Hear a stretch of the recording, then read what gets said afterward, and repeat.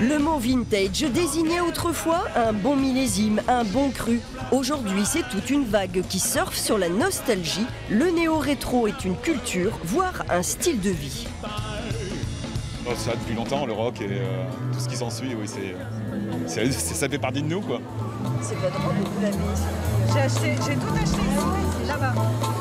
Et quoi, coiffé euh, Moi personnellement, je vais pas à une soirée spéciale, mais c'est pour, euh, même dans la vie de tous les jours, euh, essayer d'adopter ce style, euh, voilà, de la femme libérée en excellence, euh, voilà.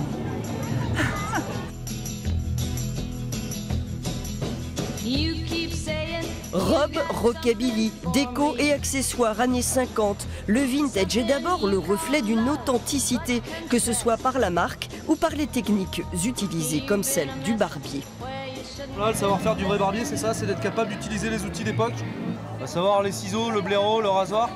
Et côté musique, attention, pour ce DJ londonien spécialiste des courants musicaux, il y a des tribus qui ne se mélangent pas.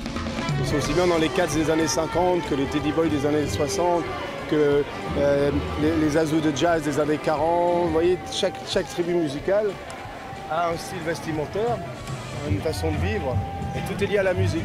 Voilà. C'est pour ça que certaines personnes ne se mélangeaient pas. Beaucoup d'ambiance donc à ce salon qui se poursuit ce dimanche.